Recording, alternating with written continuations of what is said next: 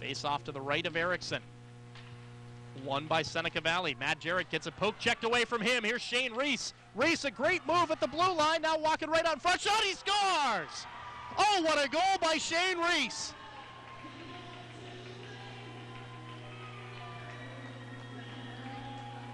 You will not see a prettier goal than that from Shane Reese. A great move at the blue line, then another move to get around the defenseman who got back. That was number 43, Tyler Rose. There's the move at the blue line. And then for added measure, another move right there and goes to the forehand. Had Schutte going the wrong way, and Shane Reese with a short-handed goal. Beautiful goal there by the sophomore for McDowell. Seventh goal.